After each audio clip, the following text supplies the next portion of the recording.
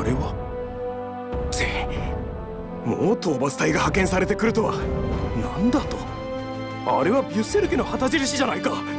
伝令を。伝令だ。こんな場所でビュッセル家を相手に戦えるか。一度引くぞ！おおただの寄せ集めというわけでもないか。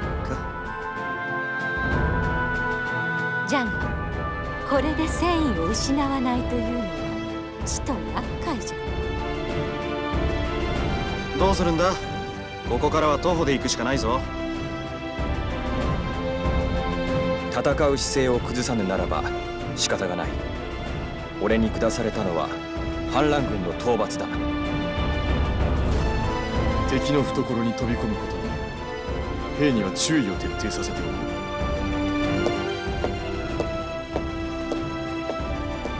あの御人もよくやるというか真面目だね。